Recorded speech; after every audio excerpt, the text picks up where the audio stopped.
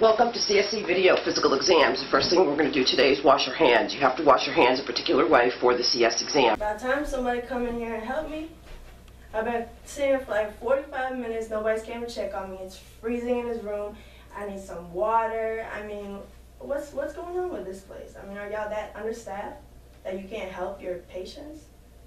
I mean, I'm horrible in here. Can I can I have some water? Yes. Please. Yes. Thank you.